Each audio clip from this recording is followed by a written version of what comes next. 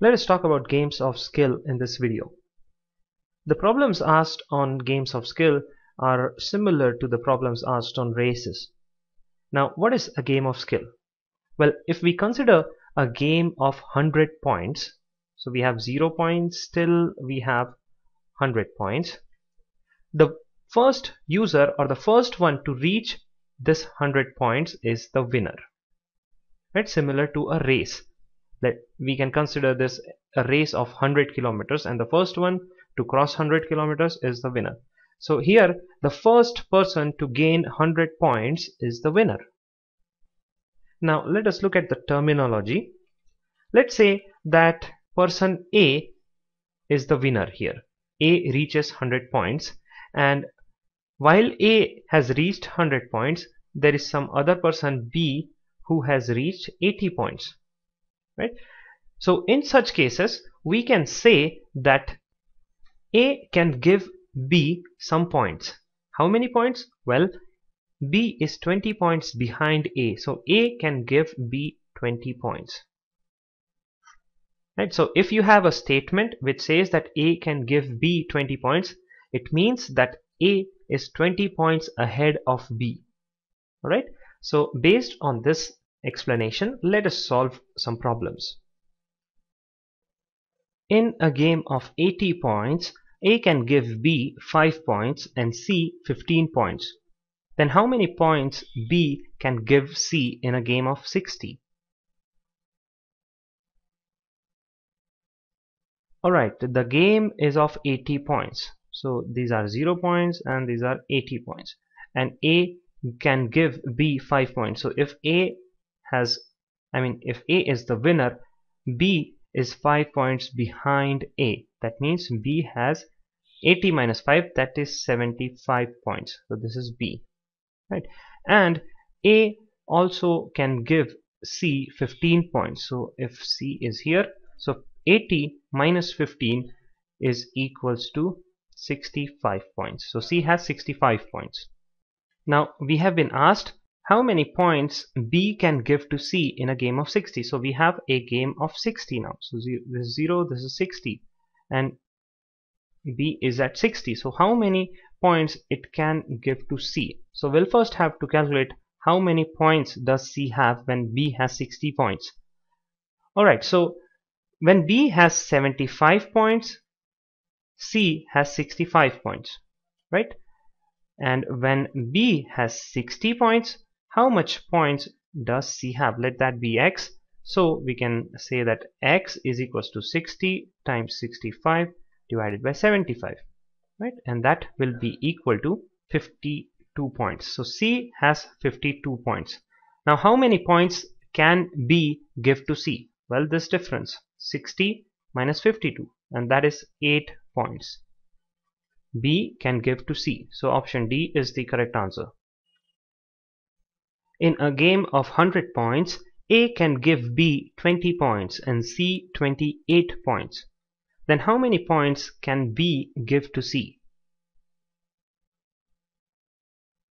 Well the game is of 100 points so this is 0 and this is 100 right?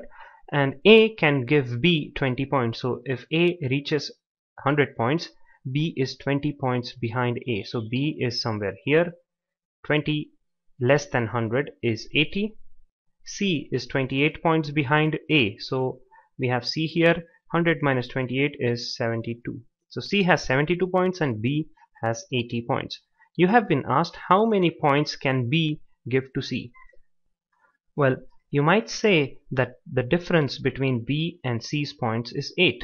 Hence, B can give 8 points to C. But that is wrong.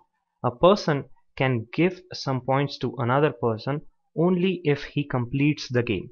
In this case, only if B reaches 100, then he can give points to C. So that gives us another situation. Right, this is 0 and this is 100.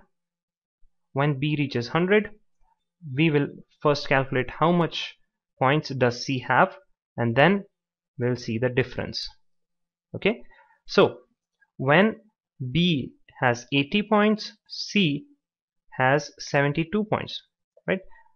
So when B will have 100 points how many points will C have? Let those be X. So X is equals to 100 times 72 divided by 80 and that will come out as 90 so C has 90 points right?